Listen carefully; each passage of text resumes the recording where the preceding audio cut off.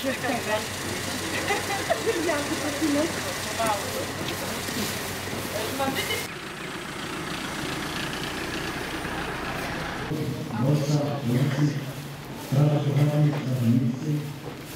przedstawicieli pozostałych pozostałych jeńców pod dowództwem porucznika Tomasza Tabaczyńskiego.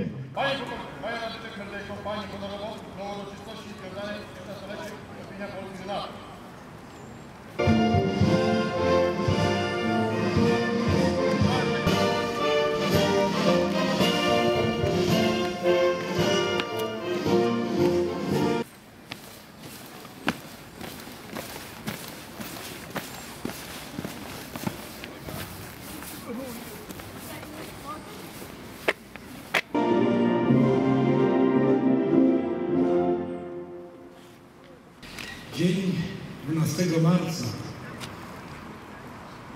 przechodzi do historii jako dzień ważnego wydarzenia w życiu naszej ojczyzny.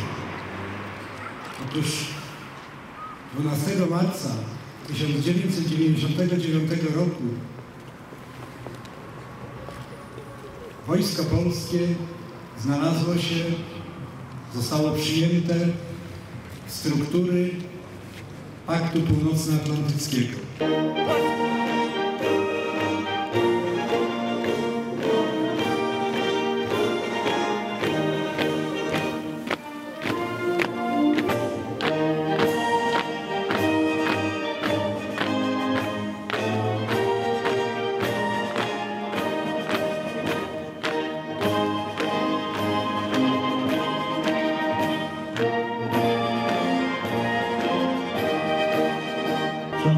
Państwo, na kończymy uroczystość związaną z obchodami 15. rocznicy przystąpienia Polski do NATO.